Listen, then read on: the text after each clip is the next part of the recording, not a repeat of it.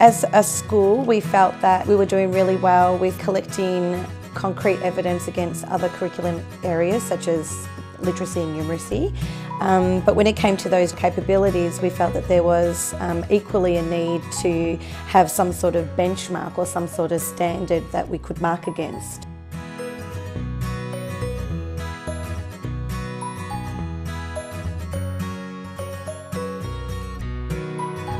I needed the children to know what it is I was looking for.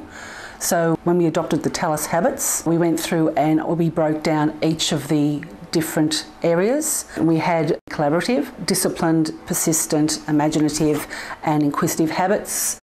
We would have assumed that the children would have known persistence, collaboration and the definition of those, but they had no idea or they had a fluffy comment, I guess, surrounding that. So through our um, investigations, our STEM investigations, we broke down the vocab, what it looked like, what it felt like, how they observed it throughout each other. And then post um, reflection, the kids are using the um, uh, language in their reflections, uh, they have a deep understanding of what it means and the clear um, growth in that language.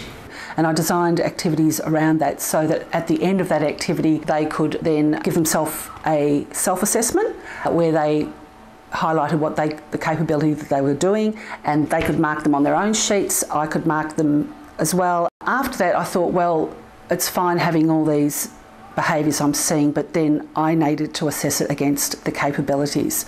So they then took the Tallis habits and went through and married each of the um, critical and creative thinking capabilities up against the rubric with the Tallis habits. So I can then use that as I'm ticking off those things, I can also see exactly which capability they are achieving. Hopefully with um, the junior school, as they graduate forward, then we've got these little six-year-olds becoming 12-year-olds and that language of, um, of being inquisitive or um, curious or persistent, etc., um, will hopefully um, become part of their everyday